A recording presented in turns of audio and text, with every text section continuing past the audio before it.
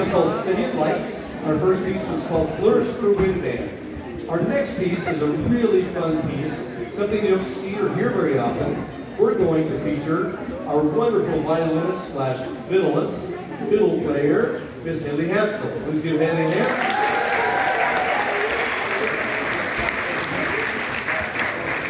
You heard Haley play some beautiful violin music with the choir earlier. Now you're going to hear her switch gears. This piece is called Orange Blossom Special. It's about a train, and we're going to have some fun with Haley and with you.